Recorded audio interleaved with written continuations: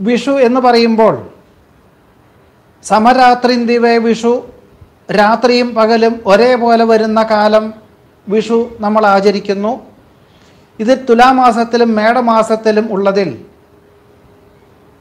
ഒരു കാർഷിക സംസ്കാരത്തിന്റെ ഭാഗമായി ഈ ഒരു കഴിഞ്ഞ മകരമാസം മുതൽ കൃഷികളൊക്കെ ചെയ്ത് ഫലമൂലാദികളൊക്കെ കൃഷി ചെയ്ത് അത് മേടമാസം ഒന്നാം തീയതി മുതൽ ആദ്യ മഴ ലഭിച്ചും കൊണ്ട് വെള്ളരിയാണെങ്കിലും കുമ്പള കുമ്പളനാണെങ്കിലും മത്തനാണെങ്കിലും ഒക്കെ തന്നെ മുമ്പ് കാലയളവിലൊക്കെ തന്നെ ഇതെല്ലാം കൃഷി ചെയ്ത് ഒരു വർഷം വരെ എടുത്തു വയ്ക്കാൻ തക്കവണ്ണമുള്ള സാഹചര്യങ്ങളൊക്കെ അനുഭവത്തിലുമുണ്ട്. അങ്ങനെയൊക്കെ ധാരാളം ഉണ്ടായിട്ടുണ്ട്. ഇന്ന് കൃഷി ചെയ്യുന്ന ഈ ഈ വക കായ്കറികളൊന്നും തന്നെ ഒരു വർഷമല്ല ഒരു മാസം തന്നെ ഇരിക്കാനുള്ള സാധ്യതകൾ വളരെ കുറവുമാണ്.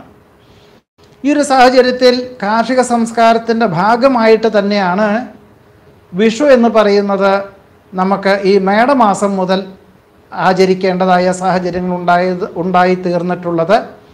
മേടമാസം ഒന്നാം തീയതി എന്ന് പറയുന്ന ഏപ്രിൽ പതിനഞ്ചാം തീയതി കാലത്ത്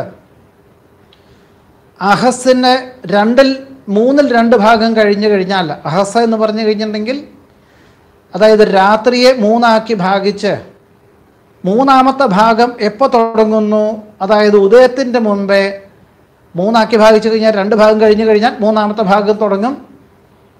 ഈ പതിനഞ്ചാം തീയതി കാലത്ത് രണ്ട് മണി മുപ്പത്തിനാല് മിനിറ്റിന് ശേഷം എപ്പോൾ വേണമെങ്കിലും കണി കാണാം എന്നുള്ളതാണ് ഇവിടെ പറയാനുള്ളത്.